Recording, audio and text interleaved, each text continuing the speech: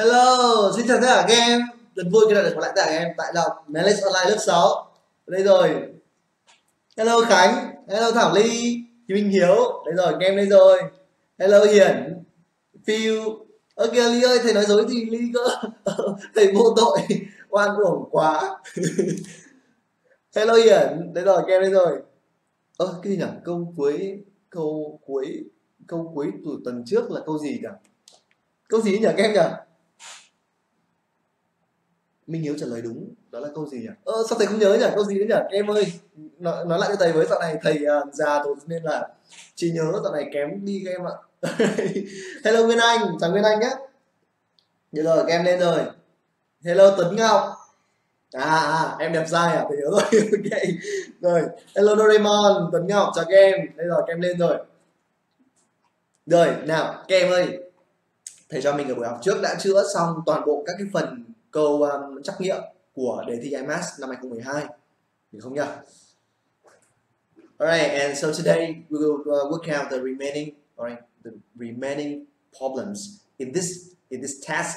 Now, we have five remain question. We move to the question 21. Để cho mình chuyển đến câu 21 nào. Các em ơi, bắt đầu là một câu không còn uh, trắc nghiệm nữa mà sẽ là điền đáp số, Được không các em? À câu đếm hình mà thầy điện ra. Ok thầy nhớ rồi. Yes 8 nhân 8 đúng không các chính, chính xác rồi. Đúng rồi thầy nhớ rồi. Ơ có mà. Kem ơi kem không có phải uh, kem ơi hôm trước buổi học trước ấy bạn Thảo Ly bạn nghỉ đúng không? Xong rồi thầy ờ, xong rồi ờ, thầy trò mình có hỏi là ơ sao hôm nay không thấy Thảo Ly đi xuất xuất điện đúng không? Được không nhỉ? Anh em nhỉ? Tất cả mọi người đều đều đều nhắc đến Thảo Ly đúng không anh em? Thầy không nói dối đâu ly ạ thật luôn mọi người nhắc đến em đấy. Rồi nào question 21 các em tập trung nhá. Đây là một câu hỏi hình học hiểu không nhỉ? Và sẽ cần vận dụng trí tưởng tượng của các em rất là nhiều này. Hello uh, chào Dũng nhá. Rồi nào question 21 the diagram below shows a cube with three of its faces labeled A, B and C. Alright this cube một hình hộp đúng ngang được đánh được được ghi được ghi nhãn ba mặt là ABC được không nhỉ? And a 3 times 3 square. With 6 of each squares. Label one two three four five and 6 và một cái hình một cái tấm uh, hình vuông 3 x 3 đúng em kích thước 3 x 3 với 6 cái mặt đúng nhỉ? À, với với 6 hình vuông của nó thì được đánh nhãn là 1 2 3 4 5 6 được không nhỉ Alright. Rồi. Có Nguyên Anh ạ, hôm trước mọi người cũng có hỏi em đấy, không thấy em xuất hiện. Rồi, hello Nhật Anh, đây rồi, các em lên rồi. Thế cho mình đang làm câu 21 nhá. Nào. The cube is tipped over so that face C lies on square one. được không nhỉ? Ở đây họ nói là cái cái cái xúc sắc này đúng không em? Tạm thời tạm gọi là cái xúc sắc đi, hoặc là cái khối này nó được uh, lật đúng nhỉ? Nó được lật sao cho là cái mặt C này này, thì thì nó chồng lên cái cái hình vuông số 1 được không nhỉ? Các em tưởng tượng ra không? Được không nhỉ? Đây. Có một hình vuông này, được không nhỉ? Cái này mình phải làm bằng giấy thôi. Nó hơi xấu một tí. Được không nhỉ? Đây. Ví dụ đây mặt C đúng không em? Họ lật lật thế này. Được không nhỉ? Lật lật. Nhá. Tiếp nhá hello tú nhá. Chào tú. And then we tip over again so that face B lies on square 2 sau đó thì họ lại lật tiếp. Lần thứ hai được không nhỉ? Sao cho là cái mặt B này này thì nó chồng lên cái hình vuông số 2 các em tưởng tượng được không? Nhá tưởng tượng nhá cố lên nhá hơi khó một tí nhá. Cố lên nào. And so on until the cube lies on square 6 và tiếp tục làm như vậy tiếp tục lật như vậy cho đến khi mà cái cái cái, cái khối hộp này nó nằm ở vị trí ô vuông số 6 thì không game the question is what is the sum of the numbers of the squares on which the cube has lay with face B on top? Đúng không nhỉ? Câu hỏi đặt ra là vậy thì tổng các số của các cái hình vuông mà khi mà cái khối hộp đúng không nhỉ? Khi mà cái khối hộp nó ở vị trí là mặt B ở trên trên ở, ở bên trên hướng về phía trên ấy, mặt B. Đây nghe mời mặt B. Đây mặt B đây được không nghe mặt B hướng lên trên. Đây hướng lên trên. Em nhìn thấy không? Hướng lên trên. Thì bên dưới sẽ là tổng của các cái số. Đó là số nào? Được ok cố lên nào. Có ly ạ. Chắc chắn. Thầy cam kết là các, các bạn có nhắc đến em yên tâm. Thầy không thầy không nói dối đâu chắc chắn đấy. Được ok các em ơi nào vận dụng trí tưởng tượng nào? Vận dụng trí tưởng tượng của các em nào?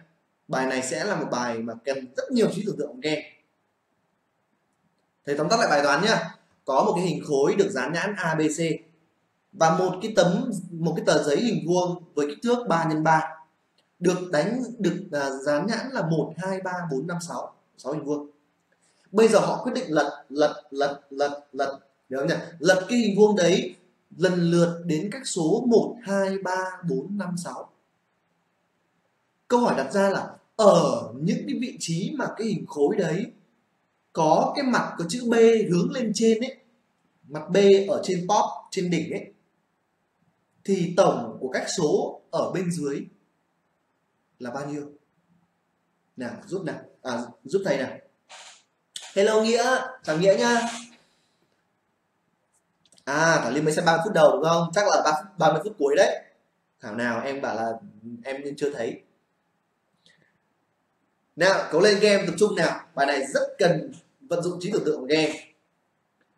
Rồi bây giờ thầy sẽ gợi ý cho các em nhé.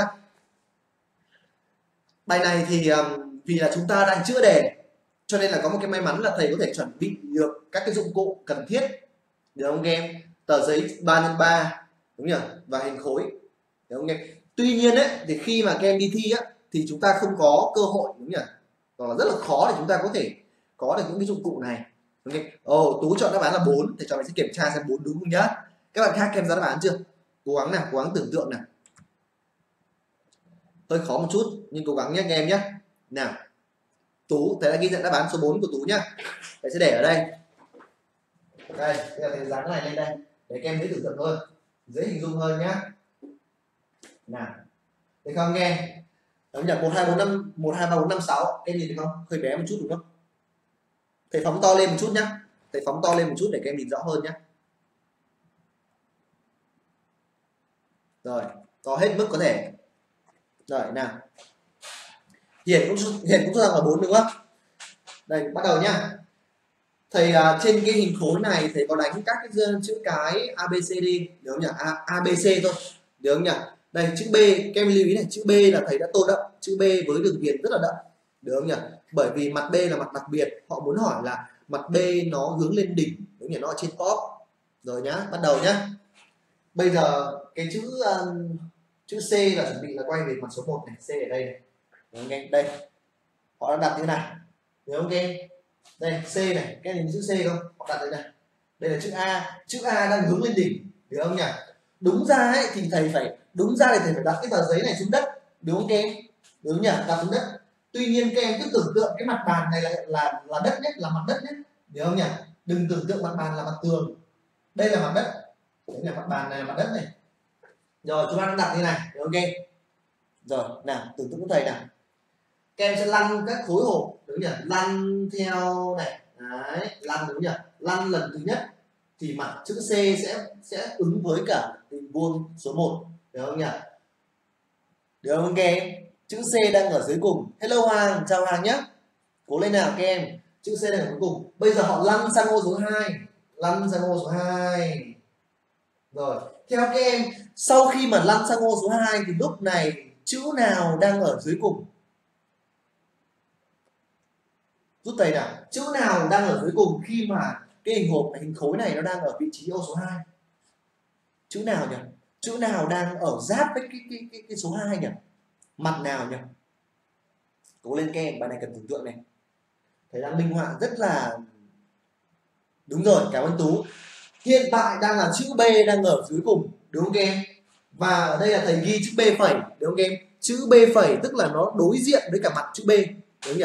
B phẩy đối diện với b, c phẩy đối diện với c và a phẩy đối diện với a. Đúng không em? Nhá, thầy quy ước như vậy. Rồi.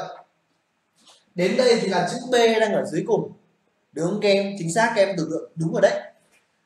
Bây giờ chúng ta sẽ tiếp tục lăn tiếp sang ô số 3 lăn hình khối này sang ô số 3 nhớ không nhỉ? Theo các em, khi mà thầy lăn sang ô số 3 chữ nào đang ở mặt dưới cùng nhỉ? Chữ nào đang ở mặt dưới cùng nhỉ? Thầy đang ở vị trí số 3 rồi. Chữ nào đang ở mặt dưới cùng đây? Chữ nào đang ở mặt dưới cùng?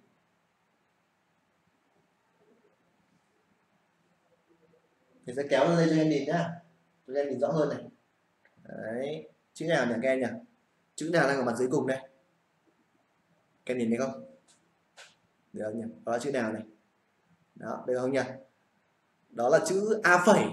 Đúng nhỉ? Chữ a phẩy thì là mặt đối diện, tuy nhiên thì là chữ a sẽ là đối, sẽ là mặt ở dưới cùng đúng không em? Bởi vì a đối diện với a phẩy mà. Được không nhỉ? Chữ a chính xác là chữ ở mặt dưới cùng. Đang, chữ a, mặt mặt a đang chạm với cả số 3 được không nhỉ mặt a lên chạm với số 3 hello minh châu. Chào em. Rồi, thầy đã đi cho các em ba bước rồi. Thầy đã đi cho các em ba bước rồi. Nhiệm vụ của các em bây giờ sẽ là tưởng tượng nốt cho thầy ba bước còn lại, lăn xuống số 4 lăn xuống số 5 và lăn đến số 6 các em tưởng tượng nốt ba bước còn lại và các em nghĩ xem là ở bước nào thì chữ cái B nó ở mặt trên cùng, tức là chữ B nó sẽ xuất hiện ở mặt trên cùng này nó sẽ xuất hiện ở cái mặt mà đang đối diện với các em này. Ở ô số mấy thì chữ B sẽ xuất hiện ở đây, chứ không phải là chữ A phẩy như thế này. Giúp thầy nào để không lên tưởng tượng được không? Thầy đã cắt, thầy đã đi đi được cho các em một nửa chặng đường rồi. Một nửa chặng đường rồi.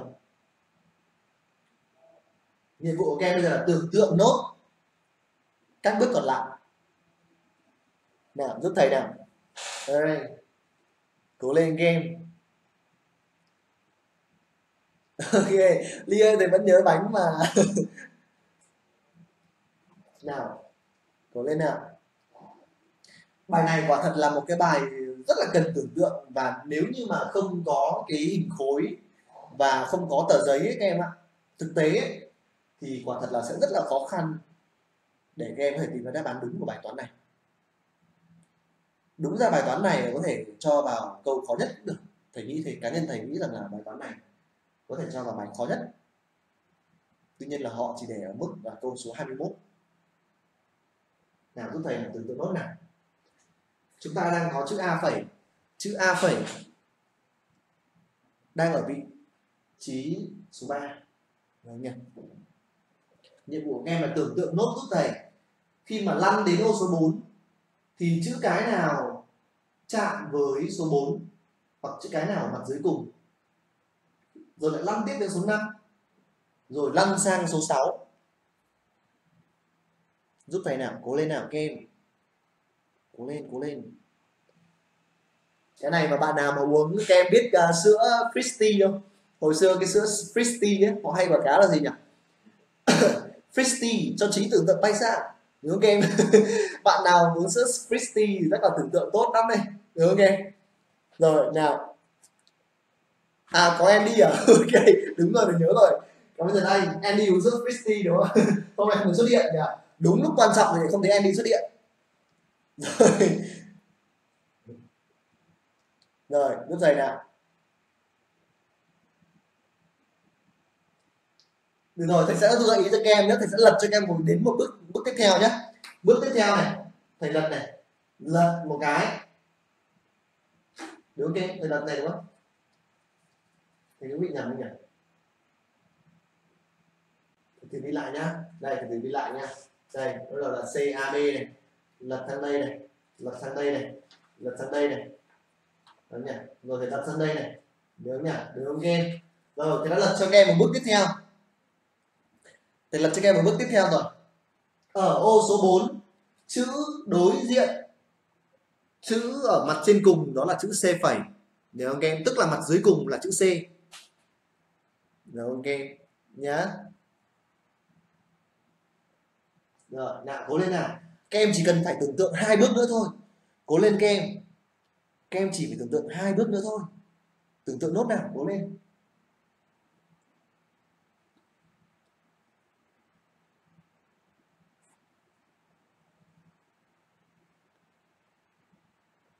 Cố lên nào, cố lên nào. Sắp về đích rồi, cố lên kem tập trung nào, tập trung nào kem câu này đang rất cần nhanh tập trung này, tưởng tượng nào. Động não nào. Cố lên kem thì lật cho các em thêm một bước nữa nhá. Thì lật cho các em một bước nữa này. Lật tiếp một bước nữa. Được chưa? Bây giờ chữ A đang là chữ ở mặt trên cùng được không? Các em các em chỉ phải lật đúng một lần nữa thôi. Lật sang con số 6 là các em sẽ sẽ xong bài toán này. Đang là chữ A các em ạ. Chữ A đang ở trên cùng. Đây bài hỏi nè đây bài hỏi là cái chữ B ấy, chữ cái B ở mặt trên cùng thì tổng các cái số ở bên dưới là bao nhiêu? Số 4 nó không phải là B đâu. Tú ơi số 4 nó không phải là B số 4 chắc chắn không phải là B. Thầy thầy thầy sẽ lật lại cho các em xem nhé. Thầy sẽ lật lại này. Đầu tiên là mặt C này. Được không nhỉ? Mặt C đây. C, A, B. Đây. C, A, B, C, A, B. Thầy làm thế này. Được chưa? Thầy lật này. Một này. Chữ C đang ở dưới cùng này. C đang ở dưới cùng. B ở đây nhá B ở đây này. C đang ở dưới cùng. B đang ở dưới cùng. B B B. B đang ở dưới cùng. Được không nhỉ? Bên này đang là chữ A. Lật xuống đây. A này đặt lên trên này, C phẩy này, tức là C đang ở dưới cùng. Ở ô số 4 C phẩy ở trên cùng và C ở dưới cùng. Được không em à Hiển và Hoàng đã ra đáp án là 6 wow, tuyệt vời. Đây, ta đặt lên đây, được không nhỉ? Như vậy là ở ô số 5 thì chữ A phẩy đang ở dưới cùng và chữ A ở trên cùng. Được không em cuối cùng thì đặt đến ô số 6 được không nhỉ? Các em nhìn thấy gì không tại vì sao? Thầy lại tô chữ B là có viền đậm nhất. Bởi vì là thầy muốn các em nhìn thấy đó là ở ô số 6 thì chữ cái B đang ở mặt trên cùng. Các em thấy không? Đúng nhỉ? Chữ cái B đang ở mặt trên cùng. Tức là trong 6 cái lần lật này thì chỉ có duy nhất cái lần lật cuối cùng, lần lật ở vị trí ô số 6 là chữ cái B ở mặt trên cùng. Được không em là chữ cái B ở mặt trên cùng do vậy đáp án của bài toán này đó là 6 các em ạ. Đó là 6 chỉ có đúng duy nhất một ô có chữ cái B ở mặt trên cùng. Được không các em? Được không nhỉ? Đó thì thầy lại chia sẻ thêm với các em đó là tại sao thầy lại bảo là tại sao thầy đánh giá là cái bài toán này nó có thể đưa vào câu hỏi cuối cùng cũng được. Tại vì là trước tiên là nó bài toán này nếu như không khi mà các em đi thi ấy, thì sẽ không có cái cái khối này đúng không nhỉ? Hoặc là nếu mà các em nếu như các em nhanh nhạy ấy, các em có thể là là là là cầm đem theo một cái một cái um, một cái xúc sắc. Một, hai, bốn, năm một hai, bốn, năm, sáu. Nhớ không nhỉ? Một cái xúc sắc thật là nhỏ thôi. Đấy là trong cái bàn cờ cái ngựa chẳng hạn. Nhớ không nhỉ? Đem đi, người ta chỉ nghĩ là đó là đồ chơi, đúng không? Nhưng thực ra đó là dụng cụ để mà đạo cụ, rộng là dụng cụ học tập của mình. Rất quan trọng. Những kỳ thi toán tiếng anh ấy những kỳ thi toán tiếng anh như kiểu kangaroo này, imax này, satmo này rất hay xuất hiện những câu hỏi liên quan đến xúc sắc em ạ. Họ rất hay hỏi những câu liên quan xúc sắc bởi vì họ muốn các em uh, vận dụng cái trí tưởng tượng của các em. Kích thích cái trí tưởng tượng của các em. Đúng không nhỉ? Đó thì đó là một đó khi mà em đem theo thì dụ gặp những câu như này các em sẽ có lợi thế rất là lớn. Đúng nhỉ? Có một cái xúc sắc trong tay và các em chỉ cần có tờ nháp các em vẽ nhanh một cái ô hình vuông 3 x 3 đúng nhỉ? Sau đó các em lăn một chút là tìm ngay được đáp án đúng. Nhưng nếu không có xúc sắc thì lúc đấy sẽ rất là khó khăn đây rồi cái em đi đây rồi các em ơi. Đây rồi Fristy đây rồi. Vừa kết thúc bài toán quan trọng xong thì Andy xuất hiện. Ok. Rồi. Đó thì um, thầy chia sẻ đó là tại sao đây, là một bài toán khó. Tại vì thế này. Bài toán này nó lại họ lại hiểm hóc ở nhìn thế này các em ạ. Thì thu nhỏ lại một chút nhé họ lại hiểm hóc. Đó là thế này. Câu hỏi ấy các em ạ câu hỏi đề bài thì họ hỏi là họ hỏi là tổng của các số, của các hình vuông tại cái vị trí mà khối hộp có mặt B hướng lên trên. Tức là họ hỏi ở dạng số nhiều. Được không em the numbers of the squares. Được không nhỉ? Số nhiều, các số này, các hình vuông này. Do đó là thông thường khi mà khi mà đọc đề như thế, thì ai cũng sẽ nghĩ là à chắc là ít nhất là mặt B nó sẽ phải hướng lên trên ở ít nhất là hai hình vuông. Ở hai vị trí. Được không, các em? Ở hai hình vuông, hai vị trí. Bởi vì số nhiều mà. Đúng không, các em? Hỏi tổng mà. The sum. Nhưng không thể ngờ được. Đó là trong 6 cái ô này thì chỉ có đúng duy nhất ở vị trí ô số 6 là mặt B hướng lên trên. Tức là hỏi số nhiều nhưng đáp án chỉ là số ít thôi. Đúng không em? Thì đó là một cái điều mà sẽ rất là thử thách cái tính sự kiên định của các em khi mà các em đi vào phòng thi. Nhớ không nhỉ? Nhiều khi là chúng ta ra là đáp án là 6 rồi. Nhưng là nghĩ là số nhiều cơ mà nhỉ? Sao là có mỗi số nhỉ? Thế là lại phân vân. Em đúng không nhỉ? Đó thì các em phải lưu ý nhá. Đúng nhỉ? Bài toán này là một bài toán mang tính thử thách rất là cao. Về mặt uh, trí tưởng tượng về mặt thử thách sự kiên định này. Đúng không nhỉ? Thử thách sự chắc chắn này. Được ok nhá. Rồi ơ Andy thầy không biết thầy không biết uh, uh, ông Nguyễn Phùng Nguyễn Phùng Phong. Đấy là ai đấy Andy? Đấy là ai đấy? Giáo viên nào em rồi nào các em ơi vậy là xong nhá. Xong bài toán liên quan đến xúc sắc nhá. Nếu mà đi thi uh, các kỳ thi toán tiếng Anh thì các em nhớ là đem theo một cái xúc sắc thật là nhỏ nhá. Đem theo làm là dụng cụ nhá. Hiểu không nhỉ? Đấy là một cái gợi ý không phải ai cũng biết đâu các em ạ. Lưu ý nhá. Rồi nào we move to the question question 22 các em sẽ đến với một câu mang tính thử thách cao tiếp theo đó là câu số 22 được không nhỉ? Bài này đề bài có vẻ hơi dài cho nên là thầy uh, nhỉ? Thầy à, sẽ lấy cái ảnh thầy ra đây. Rồi nào một câu hỏi mang tính thử thách cao tiếp theo đây các em ơi. Thầy để cái này lên đây nhá. Thu, thu cái này. Đây. Rồi nào bắt đầu. Thu nhỏ lại một chút này rồi. Hello minh chào minh nhá.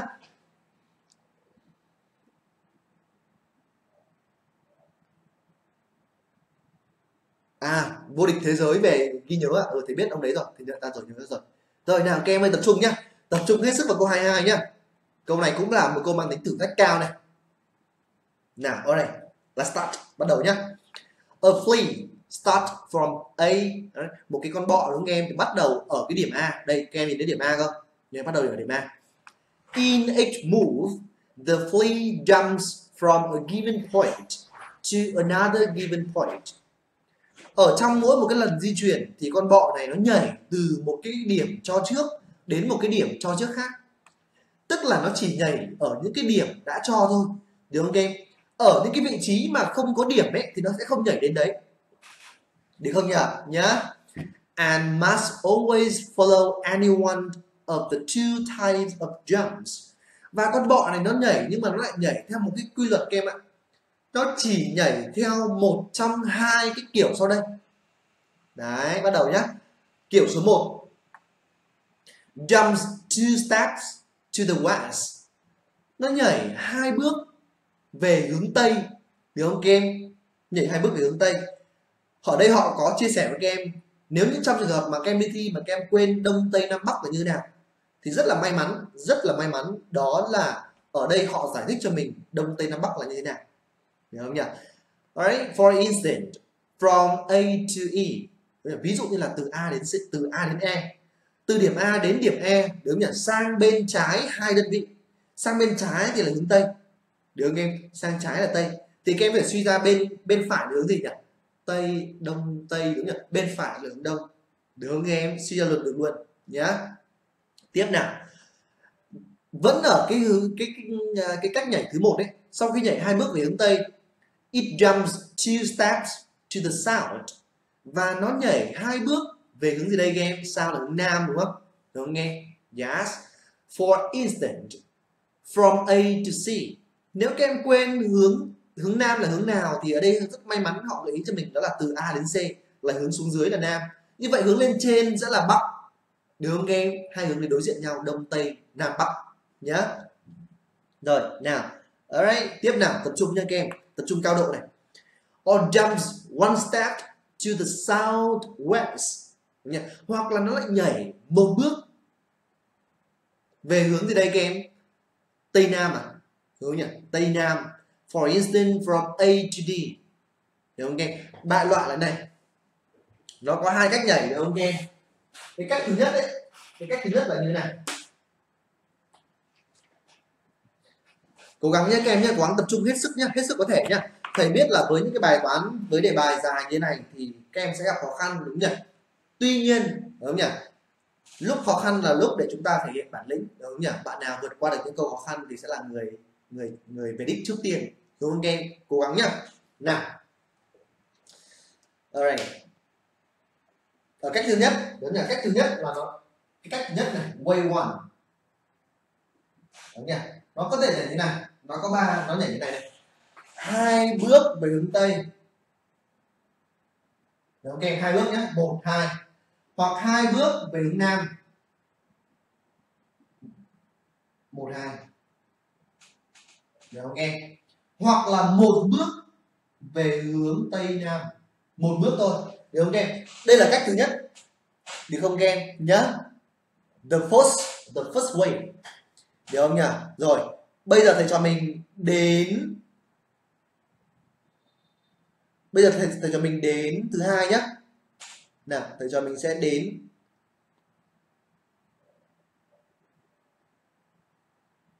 Rồi nào anh em tập trung nhá. Nào bây giờ đến cách thứ hai. Nó chỉ nhảy một trong hai cách này thôi anh em nhé way to nào tiếp tục nào thầy cho mình sẽ phân tích nào.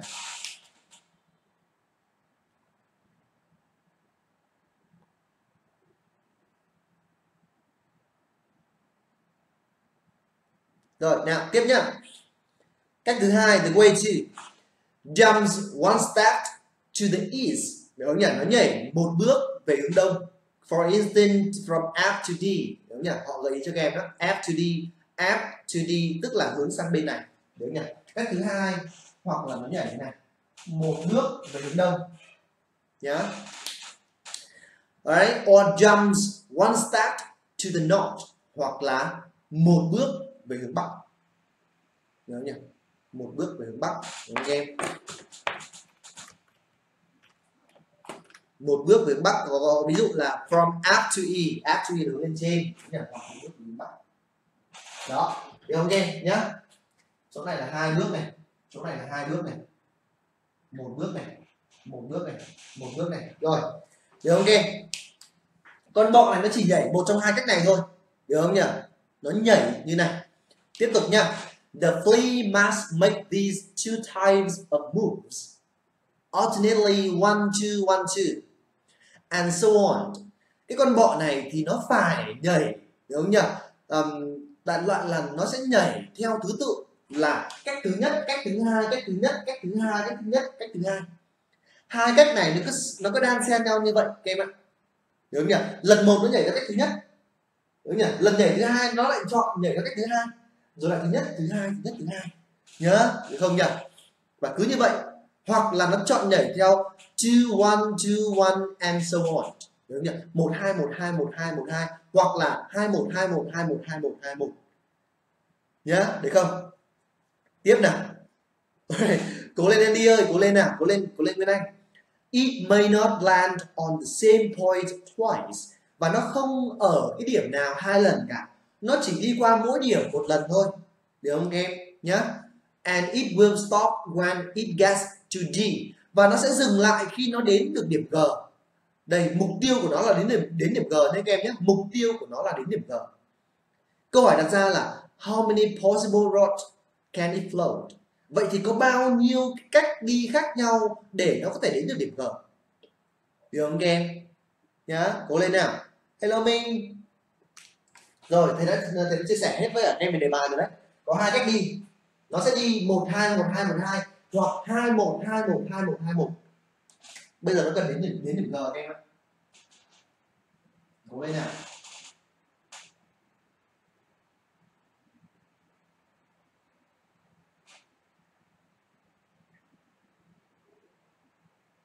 Cố gắng hết sức nha. Tập trung hết sức các em nha. Thầy đang rất cố gắng này.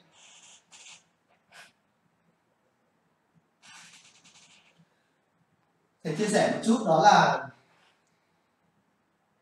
cái kỳ thi IMAS các em ạ. Kỳ thi IMAS thì uh, thường thông thường được mọi người đánh giá là cao khó hơn đối với kỳ thi so với kỳ thi kangaroo đúng không nhỉ? Vì là nó đánh giá khó hơn nên chắc chắn là đề bài. Trong đề thi của nó sẽ có những câu khó đúng không em? Cố gắng nào thì cho mình sẽ cùng nhau giải quyết được. Sẽ làm được mà. Cố lên kem nhá. Rồi nào. Giả sử như bây giờ nó đi theo cách thứ nhất là một hai một hai đúng không em? Một hai một hai cứ như vậy nhá. Rồi, nào. Cùng thầy làm nào. Cách thứ nhất, nó đi theo một hai một hai, đúng không? Ở trong cách thứ nhất thì nó lại có ba sự lựa chọn, đúng nhỉ? Trong cách thứ nhất nó lại có ba cách đi. Đúng không nên em nhìn nhá. Thầy cho mình đi theo cách thứ nhất nào. Đi sang ngang. Nếu này đi sang ngang hai đơn vị, tức là từ a đến A to E đúng nhỉ? Đi sang ngang từ A sang điểm E là cách thứ nhất đúng nhỉ? Nhá. Bây giờ từ điểm E thì có thể đi lên trên được không em? sau khi cách thứ nhất rồi thì nó phải chuyển sang nhảy sang đi cách thứ hai. Đúng không nhỉ? Tuy nhiên nó không thể nhảy lên trên được, nó không thể chọn cách nhảy lên trên được. Đúng không em? bởi vì nhảy lên trên không có điểm nào ở trên cả, mà nó chỉ nhảy ở các điểm mà có có điểm thôi, đúng nhỉ? Phải có điểm nó mới nhảy, không có điểm nó không nhảy đâu. Đúng không em? Những cái điểm mà thầy không không khoanh không khoanh tròn ấy, là nó cũng không nhảy đến đâu. Được không nhỉ? Road road là là cách đi, là là là đường đi, nhá. Như vậy là nó không thể nhảy lên trên được. Liệu nó có thể nhảy sang ngang một đơn vị không nhỉ? Từ e này, nó nhảy sang ngang một đơn vị được không em nhảy sang đây được không nhỉ? Nó cũng không thể nhảy sang đây được. Đúng không em vì cái điểm này nó không có tên điểm. Đúng không nhỉ? Nó chỉ đẩy đến các cái điểm mà được có tên thôi a b c d e f g thôi. Đúng không em? Sang chảnh đúng không nhỉ? Những điểm không có tên không nhảy Đúng không em? Nhá. Như vậy là với cái cách mà nó nhảy từ a sang e thì đến e nó không còn đường nào để, để nó đi nữa cả. Đúng không? nó không còn cách nào khác để đi cả. Do vậy cách này không khả thi. Đúng không từ a sang e là không khả thi. Để cho mình chuyển nhá. Bây giờ từ a sang e không được rồi đúng không nhỉ? Thầy cho mình quyết định đi từ a xuống dưới đi. Đúng không em? Xuống dưới hai đơn vị đi. Từ a xuống dưới hai đơn vị là xuống c. A to c. Đúng nhỉ? Xuống đến c rồi. Bây giờ nó lại nhảy sang bước thứ hai. Hoặc là nó nhảy lên trên hoặc là nó nhảy sang phải. Thầy cho mình sẽ thử lên trên trước nhé thử lên trên xuống. Lên trên một đơn vị tức là nó, sẽ đi đến điểm B. Đấy, nó đi đến điểm B. C to B move up one unit. Tiến chuyển đến B một đơn vị. Sau khi mà đi lên trên một đơn vị rồi, nó đang ở cách hai thì nó phải nhảy sang cách một, bởi vì nó sẽ nhảy song song. Một, hai một hai một, hai. Cách một nhá. Bây giờ ở cách một đang ở vị trí điểm B, đúng không em? Đúng nhỉ? Thì cách một nó sẽ lại có ba sự lựa chọn game ạ. Nó lại có ba sự lựa chọn. Hoặc là nó nhảy sang hai đơn vị, nhảy chéo một đơn vị hoặc nhảy xuống hai đơn vị. Để cho mình cái thử nhá nhảy sang hai đơn vị đi, cho nhảy sang hai đơn vị đi. Nhảy sang hai đơn vị, tức là đến điểm F của em từ B này, nhảy sang trái hai đơn vị, một, hai, đến điểm F. Đúng nhỉ? Ở điểm F, đúng nhỉ? Nó đang ở cách một thì nó lại sang cách hai, nó lại nhảy sang cách hai. Đúng không em cách hai bây giờ nó sẽ có hai cách em ạ. Đúng nhỉ? Hoặc là nó sẽ đi lên trên một đơn vị, hoặc là đi sang phải một đơn vị. Đến đây có hai cách. Từ F có thể đi lên trên một đơn vị là đến E hoặc là đi sang ngang một đơn vị là đến D thầy vẽ như này nhé em nhé em hiểu không nhỉ? Đóng khung cái này lại. Để đỡ bị nhầm nhé hoặc là sang E hoặc đến D hiểu không nhỉ? Cố gắng tập trung nhé các em nhé cố lên sắp xong rồi. Rồi. Bây giờ đang ở cách hai thì nó lại nhảy sang cách một. Nếu không các em? Lại nhảy sang cách một. Tuy nhiên á, các em muốn nhận ra vấn đề đó là rồi, đây thầy cho mình thử nhá. Từ e này từ e này lại có ba cách em đến cách một rồi lại có ba cách. Sang trái hai đơn vị không được rồi từ e không sang trái được. Từ e cũng không thể xuống xuống chéo được không thể xuống chéo được vì không có điểm nào đây. Xuống dưới hai đơn vị đây rồi. Điểm e xuống dưới hai đơn vị là đến được g. Đúng không em? Như vậy là chúng ta có một cách đi a c b f e g. Được không nhỉ? Các em hiểu không nhỉ? Hello hiếu james, chào em nhé, bây giờ mình thấy em xuất hiện.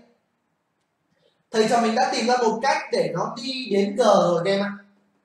Nhớ là đây là một cách. Một cách rồi nhá, thầy cho mình thử tiếp nào.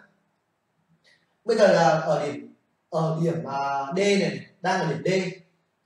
Điểm D nó vẫn tiếp tục đi theo cách số 1 đúng không các em? Các em nhớ không? Bởi vì điểm F là đang đi theo cách số 2 mà. Nếu điểm F là đi theo cách số 2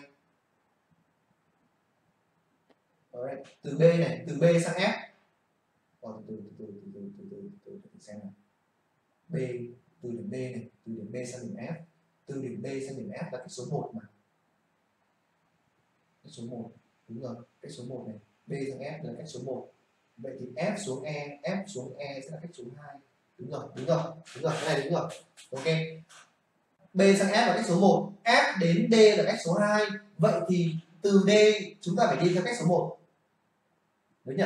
Số 1 có 3 sự lựa chọn. Từ D không thể sang trái hai đơn vị được. Từ D không thể xuống dưới hai đơn vị được. Mà từ D có thể xuống chéo một đơn vị để đến G. Đúng không? Em em nhận ra không nhỉ? Từ D xuống chéo để đến G. Như vậy thầy cho mình đã tìm được hai cách. Đúng không nhỉ? Đến đây là hai cách rồi. Hai cách để đến G rồi. Đúng không? Em em hiểu vấn đề không nhỉ? Đó. Với cái bài toán này, các em sẽ làm như thế này nhé các em nhé, chúng ta sẽ làm như này. Các em sẽ thử nốt thầy các cái trường hợp còn lại. Được không nhỉ? Thử nốt cho thầy các trường hợp còn lại. Xem xem có bao nhiêu cách tổng cộng để đến g được không nhỉ? Ngày hôm nay thì thầy chia sẻ với các em cách làm này. Để không bị mất quá nhiều thời gian cho bài toán này, thì nhiệm vụ của các em là về nhà các em nghĩ nốt cho thầy. Liệt kê tất cả các khả năng có thể của bài toán này và buổi sau thì đầu buổi thì các em sẽ chia sẻ đáp án cho thầy nhé. Được không nhỉ? Để đỡ mất thời gian. Bởi vì sẽ có khá nhiều cái cái cái cái, cái, cái cách mà phải kiểm tra nữa. Được không các em? Nhá. Thầy đã chia sẻ với các em hai cách rồi. A c b f e g. A c b f d g. Được không nhỉ? Thì cá nhân thầy thì cũng đánh giá là cái bài này là cũng là một bài toán nó nó không quá khó nhưng mà nó mất rất nhiều thời gian. Đúng không em? Chúng ta mất rất nhiều thời gian để có thể là tìm được trọn vẹn tìm được đáp án đúng của cái bài toán này. Bởi vì nó có hai cách này. Cách số 1 trong cách số 1 thì lại có ba sự lựa chọn này. Trong cách số 2 thì lại có hai sự lựa chọn này. Đúng nhỉ sau đó nó lại nhảy, linh tinh, một, hai một, hai hai, một hai, một. Đúng không do đó sẽ có rất nhiều rất nhiều những cách mà các em cần phải kiểm tra. Nên các em làm ở nhà giúp thầy nhá. Được không nhỉ? Để không bị mất quá nhiều thời gian, chúng ta sẽ chuyển sang câu số 23 nhé buổi sau nhớ chia sẻ đáp án cho thầy nhé rất nhiều bạn đáp án là ba đúng không? Hiển này đúng không nhỉ tú này đúng không nhỉ ra là ba này buổi sau chúng ta sẽ kiểm tra nhé rồi cảm ơn các em nào Alright, we move to the question 23. Các em ơi câu số 23 này. Câu số 23 nhé. Rồi, Minh Hiếu cũng ra là ba nhé. Buổi sau thầy sẽ công, công, công bố đáp án nhé. Để cho các bạn khác có thời gian làm thử nhé. Để không kèm. Alright, yes. Now, we move to the question, question 23. Câu số 23 nào, các em ơi. The number of bicycles in the school bicycle slot is a three digit number. and the number of bicycle wheels is also a three-digit number. These six digits are 2, 3, 4, 5, 6, and 7 in some order. At most, how many bicycles are there? Giúp thầy nào. Câu số 23 nào. À thế à, Hiếu James, vừa nãy em bị rơi máy à? Tìm mãi mới thấy nên em làm muộn. Thế à, bây giờ tìm rồi đúng không Hiếu? Tốt rồi. à, thầy thầy thầy không biết đồng hồ Pomodoro em điện thầy thầy không biết thầy không rõ hãng hãng đấy lắm nào câu 23 nào cố lên game bây giờ chúng ta quay trở về bài toán đại số kem nhớ ghi nhớ cái này nhé để về làm nốt nhé để xóa nhé hướng làm như thế này kem ạ hướng làm là kem sẽ vẽ hai cách ra đúng nhỉ và đi theo cách theo kiểu sơ đồ tư duy ấy đúng nhỉ cái đấy rất là quan trọng các em ạ. Nếu như các em không vẽ theo kiểu sơ đồ tư duy, là các em sẽ rất là gặp khó khăn, không biết là đi thế nào, không biết là bao nhiêu cách. Đúng nhỉ? Các em sẽ vẽ theo kiểu sơ đồ tư duy để em dễ việc dễ dàng kiểm soát cái số lượng cách hơn. Rồi, câu số 23 nhá. Thầy thầy dịch cho các em này. Tập trung nào, các em? Số lượng số lượng xe đạp ở một cái bãi để xe xe đạp ở trường ấy hiểu không các em? Thì là một số có ba chữ số. Số lượng xe đạp là một số có ba chữ số và số lượng bánh xe thì cũng là một số có ba chữ số cả xe đạp và bánh xe đều là một số có ba chữ số 6 cái số 6 cái chữ số 2 3 4 5 6 và 7 thì được sắp xếp theo một thứ tự nào đó để tạo thành hai số có ba chữ số. Theo các em, nhiều nhất là có bao nhiêu chiếc xe đạp? Được không các em? Đại loại là chúng ta có 6 chữ số, các em cần tạo thành hai số có ba chữ số sao cho thỏa mãn đề bài này. Và tìm được cái số lượng xe đạp nhiều nhất. Cố lên nào.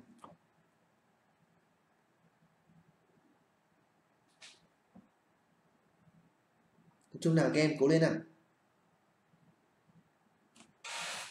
Bài 23 là thầy nghĩ là các em có thể làm được đấy. Đúng nhỉ? Các em ạ bài 23 nếu như mà có thể nghĩ là có lẽ là có bạn là có em ờ, em Dũng đúng nhỉ? Do, Doraemon ấy Doraemon đây đúng nhỉ? Thầy đã chữa cái bài 23 này ở trong đề lớp IMAS lớp cấp độ lớp 3, lớp 4 IMAS nó có một cái điều rất là hay em ạ rất là thú vị nhá. Hôm trước thầy đã chia sẻ với em là có một cái câu cuối cùng của đề IMAS vừa có là vừa là câu cuối trong đề IMAS lớp 5 lớp 6 vừa là câu cuối trong đề IMAS lớp 7 lớp 8 thì cái câu số 23 này nó cũng nó cũng gần như kiểu như vậy các em ạ. Nó vừa là một câu tự luận không phải câu tự luận mà là một câu um, câu gần cuối đúng không nhỉ? Trong đề cấp độ lớp 5 lớp 6 nó cũng lại là một câu gần cuối trong đề lớp 3 lớp 4 điều đấy ok thầy thầy sẽ dịch cho các em nhé. Số lượng xe đạp trong một bãi để xe là một số ba chữ số. Số lượng bánh xe đạp cũng là một số có ba chữ số và hai số có ba chữ số này được tạo thành bởi 6 chữ số 2, 3, 4, 5, 6 và 7 theo một thứ tự nào đó. Hỏi nhiều nhất có bao nhiêu chữ ra đạp? Nào, thầy đang chia sẻ giờ với các em đó là từ cái điều mà thầy chia sẻ thì các em có thể nhận thấy một điều là thế này này. Một cái bài toán mà vừa xuất hiện trong đề lớp 3, lớp 4, vừa xuất hiện trong đề lớp 5, lớp 6 hoặc là vừa 5, 6, vừa 7, 8 thì các em có thể nhận thấy rằng là có thể suy ra được rằng là gì? Các cái bài toán này ấy, về cơ bản là nó sẽ không nó sẽ không có những cái kiến thức quá cao siêu của những cái lớp lớn. Đúng không các em? Một bài toán vừa ba bốn làm được vừa năm sáu làm được. Tức là họ chỉ sử dụng kiến thức lớp 3 4 thôi và hỏi lên lớp 5 6 đúng không nhỉ? Họ chỉ hỏi kiến thức lớp 3 4 thôi thực chất là các em đang làm một cái bài toán của lớp 3 lớp 4 đấy câu 23 này này. Và tuy nhiên á, thì các em có thể thấy rằng là đề IMAX thì họ tập trung vào việc là khai thác, giúp các em nâng cao cái khả năng tư duy. Được không nhỉ? Vẫn với cái bài toán của lớp 3 lớp 4 tuy nhiên có thể áp dụng được vào để cho vào lớp 5 lớp 6 chứng tỏ là họ đòi hỏi cái cái sự tư duy rất là nhiều. Em hiểu ý thầy không? Đúng không nhỉ? Cố gắng nhé Ok, Tuấn Ngọc ra đáp án là 267 Minh Hiếu ra là 108 Ơ Minh Hiếu ơi, chúng ta làm gì có chữ số 108 đâu nhỉ? Chúng ta không có chữ số 10 và 8 Chúng ta chỉ có 6 chữ số 2, 3, 4, 5, 6 và 7 thôi. Tuấn Ngọc ra là 267 Rồi cái điểm ra đúng không nhé? Alright, we need we need to make we need to make two three two two three digit numbers from two, three, four, five, six, and seven. À, hiện ra đáp án là 347. À, 327. Hiện đã sửa thành 327. Tôi cho nó sẽ kiểm tra nhé. Các em ạ, với cái bài toán này này là một bài toán mà nếu như mà chúng ta làm thầy ờ, thầy đã làm ở lớp ờ, 5 lớp 5 online và cũng sẽ mất rất là nhiều thời gian để chúng ta làm một cách một cách trọn vẹn một cách chi tiết một cách logic cái bài này. Các bạn qua rất nhiều bước. Đúng nhỉ? Wow các em minh châu ra bài 327 này. Minh hiếu là 356 này. Hiếu trần bạn bạn là gì nhỉ? Hiếu trần là hiếu, hiếu trần là dương đúng không dương? Ở đây dương thì ra đáp án là 327 này. Rồi ok. Rất là tốt. Thảo ly 327 này. NDA thầy dịch lại nhanh nhé số lượng xe đạp và số lượng bánh xe đạp đều là hai số có ba chữ số. Hai số này được tạo thành bởi 6 chữ số 2, 3, 4, 5, 6 và 7 theo một thứ tự nào đó. Vậy nhiều nhất có bao nhiêu chiếc xe đạp có thể có ở bãi để xe này? À Hoàng ra là 267 rồi thì cho mình kiểm tra nhé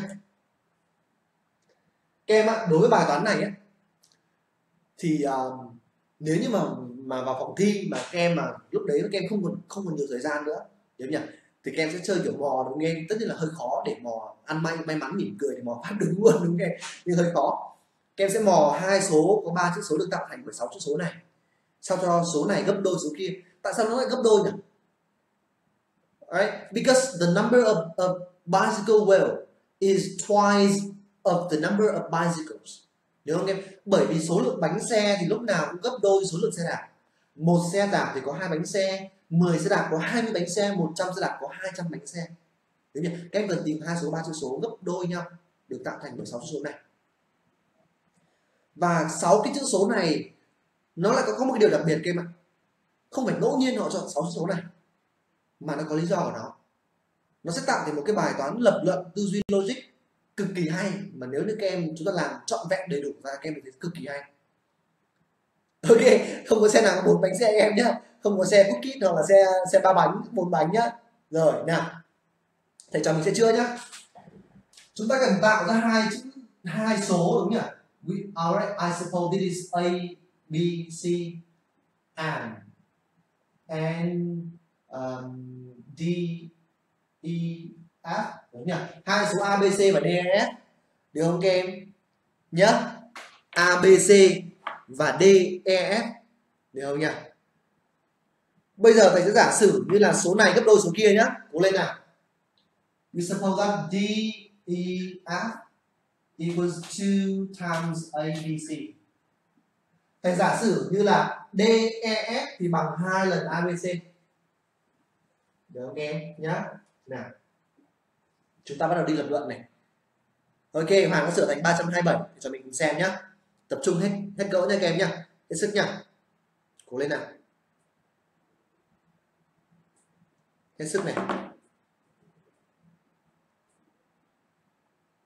Rồi, bây giờ.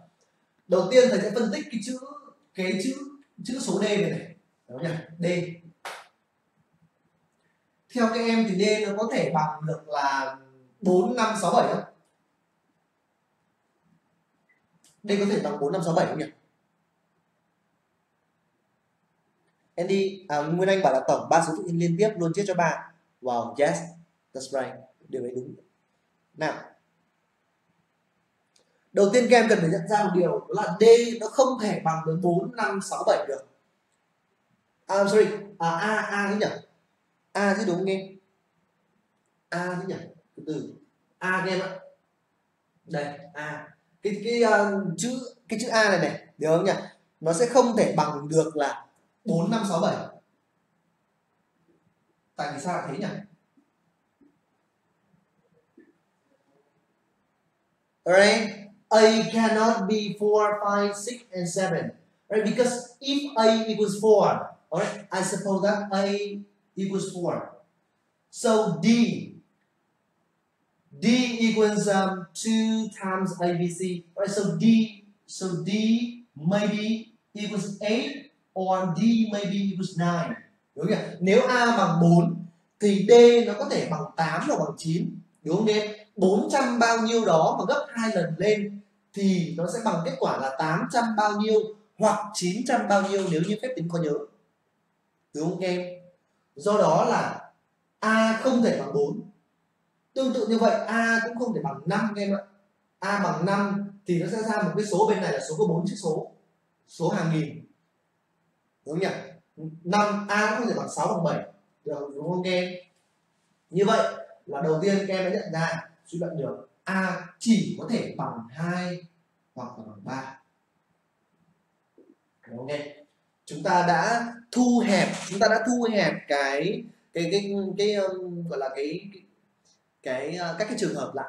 Đúng không nhỉ? Thu hẹp được khá khá rồi. Nào bây giờ thầy trò mình sẽ xét từng trường hợp một. Trường hợp thứ nhất. Đúng nhỉ? Trường hợp thứ nhất, a bằng 2 nếu a bằng 2 a bằng 3 trước đi thầy xét a bằng 3 trước. Được nghe thầy xét a bằng 3 trước. Nếu a bằng 3 right if a equals 3 so d d maybe equals 6 or d equals 7 được không em nếu a bằng 3 thì các em phải có công nhận với thầy là D có thể bằng 6 hoặc D có thể bằng 7 không? Bởi vì một số 300 bao nhiêu đó nhân với 2 thì nó sẽ bằng một số 600 bao nhiêu đó hoặc 700 nếu như có nhớ.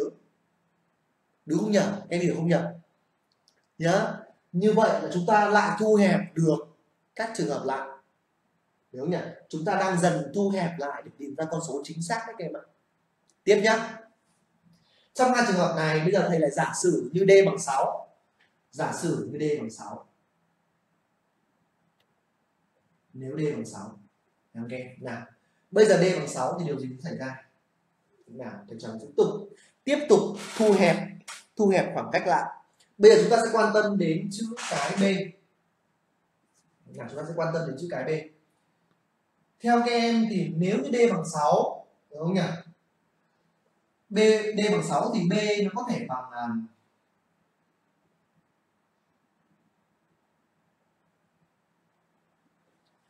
d nó có thể bằng à, xem xem nào. D bằng 6 này. B nó có thể bằng mấy nhỉ? Còn chúng ta đang có chúng ta đang lấy chữ số 3 này chữ số 6 rồi này được không nhỉ? Nếu d bằng 6 thì b bây giờ còn bốn chữ số còn lại đấy nhỉ? 2 4 5 và 7 2 4 5 và 7 tuy nhiên có một cái điều thế này em này. Chữ số b này nó có thể bằng bằng 4 bằng bằng 5 hoặc bằng 7 không? B có thể bằng 5 hoặc bằng 7 không? Các em ơi, cố lên nào. Phải tập trung hết sức thì các em mới hiểu được. Cố lên cố lên nào. Lúc này chúng ta đang có một cái phép tính là gì nhỉ? 6 EF bằng hai lần của của 3 BC được không em 6 EF bằng 2 lần 3 BC nếu như B bằng 5 hoặc B bằng 7 B bằng 5 hoặc B bằng 7 khi nhân số này với 2 thì ngay lập tức ở vị trí hàng trăm có nhớ một. Đúng không em 5 nhân 2 bằng 10 5 nhân 7 bằng 14 nhớ một nếu như có nhớ một thì chữ số D này này, nó phải là chữ số 7 chứ nó không thể là chữ số 6 được. Vì ở chữ số D là chữ số 6 cho nên B không thể bằng 5 hoặc bằng 7 được. Các em hiểu không nhỉ? Đó, chúng ta đang đi tìm cách loại trừ dần các em ạ. Loại trừ dần. Và và nếu như làm cái chi tiết các em thấy là bảy cái chữ số 6 cái chữ số này nó rất là hay. Nó giúp chúng ta loại trừ rất là hay các em ạ nhưng mà phải suy luận rất là chặt chẽ, cực kỳ chặt chẽ và logic. Nhá, tiếp tục nhá, thì đã loại được b không thể bằng 5 hoặc bằng 7 được không nhỉ? Bởi vì b bằng b bằng 5 bằng 7 thì ngay lập tức nhân 2 nó bằng 700 bao nhiêu cơ? Nó không thể bằng 600 bao nhiêu được. Bây giờ b có thể bằng 2 hoặc bằng 4 được không em? B có thể bằng 2 hoặc 4 bây giờ thầy hỏi này, thầy lại chia ra. Theo các em, b có thể bằng 4 không? Nếu b bằng 4 thì điều gì sẽ xảy ra? B bằng 4 nếu b bằng 4 thì thầy có là 6 EF bằng 2 lần gì nhỉ? 3 4 C.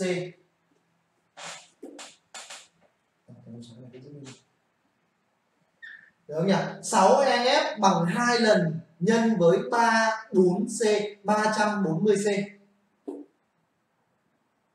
theo các em liệu có ổn không? Đúng chính xác em nói đúng. Nếu như nếu như b bằng 4 thì lúc này cái chữ chữ số e ấy, cái e của chúng ta nó có thể bằng nó có thể bằng 8 bởi 4 nhân 2 bằng 8 hoặc nó có thể bằng 9 nếu như mà có nhớ hay nói chính xác ra là nếu như c lớn hơn 5 lớn hơn hoặc bằng 5 thì e sẽ bằng 9 nếu c mà nhỏ hơn 5 thì e sẽ bằng 8 đúng không?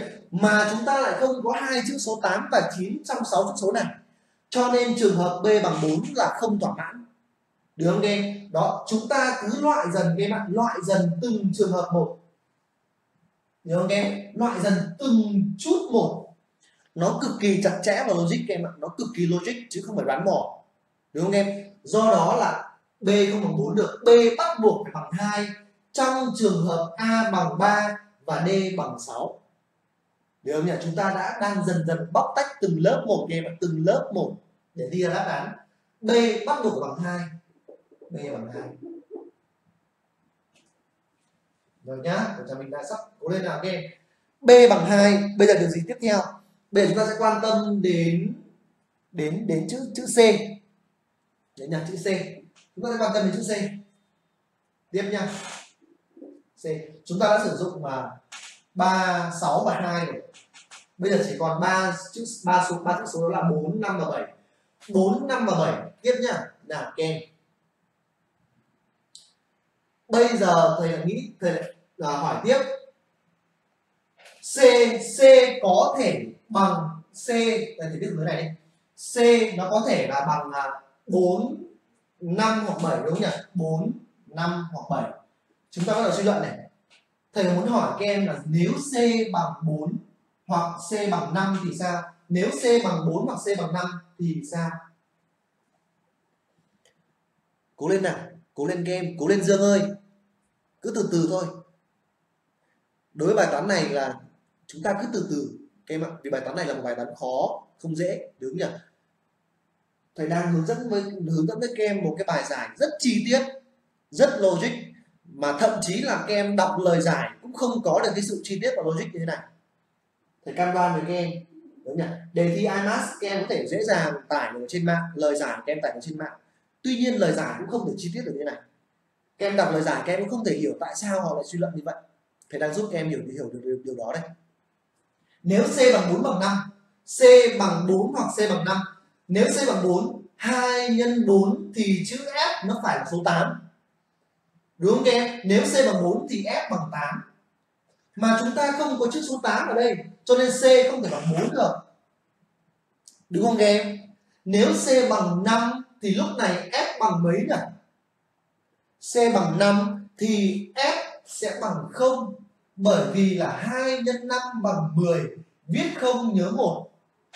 Chúng ta cũng không có chữ số 0 do đó là C không thể bằng 4 cũng không thể bằng 5 được. Đúng không em C chỉ có thể bằng 7 thôi. C bằng 7 được không em C bằng 7 Thấy cái số 7 ở đây. Lúc này C bằng 7 chúng ta còn hai chữ số nữa thôi E và F. Được không em chúng ta tiếp tục bóc tách tiếp E và F tiếp nhá, các em cố lên, sắp về đích rồi. Nào, bây giờ chúng ta tìm được số này là 327 rồi, đúng không em? Thì quá đơn giản rồi, đúng không nhỉ? Chúng ta lấy 327 nhân 2 bây giờ không, bây giờ đến đây rồi thì chúng ta lại không không lập luận, không loại trừ như vừa đấy nữa. Bởi vì chúng ta chỉ việc nhân 327 nhân 2 thôi, thế bằng bao nhiêu thôi? 327 times 2 this equals how many? 4 right? 4 5 and 6 right? And or e equals 5 and f equals 4 đúng nhỉ? Chúng ta có một phép toán đó là 654 nhân với à, bằng 2 nhân với 327 đúng nhỉ? Như vậy là thầy cho mình đã tìm ra được một cái khả năng. Đó là gì? Số xe đạp là 327 xe đạp và số bánh xe là 654 xe đạp. Đúng không game? Tuy nhiên tuy nhiên là chúng ta vẫn chưa thể chưa thể mừng ngay được. Em biết tại sao không? Buổi học của chúng ta vẫn chưa thể kết thúc được. Thấy rất là tiếc. Nào cố lên một chút nữa nào kem kem cần nhớ rằng đây là chúng ta mới chỉ xét một trường hợp a bằng 3 d bằng 6 thế bây giờ nếu như d bằng 7 thì sao? Đúng không nhỉ? Ở bên trên thì cho mình đang đã, đã nói rằng a bằng 3 thì d có thể bằng 6 hoặc d bằng 7 đúng không?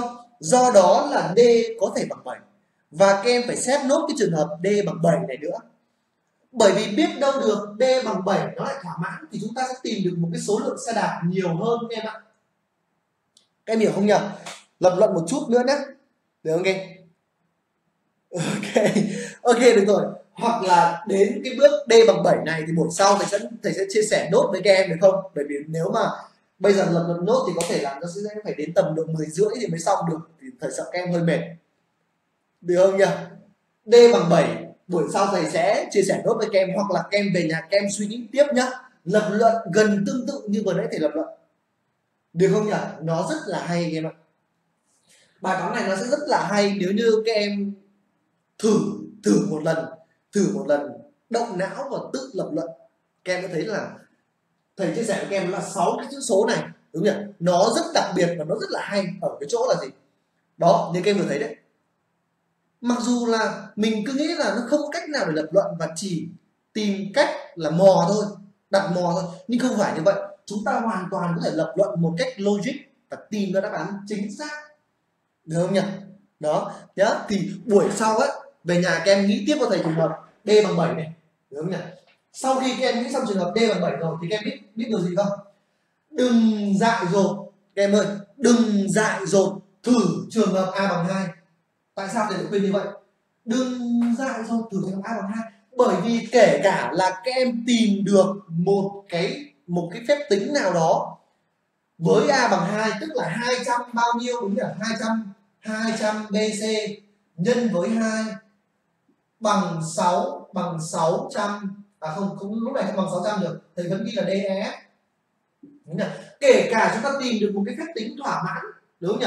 Thì số xe đạp lúc này cũng chỉ là 200 bao nhiêu đấy thôi.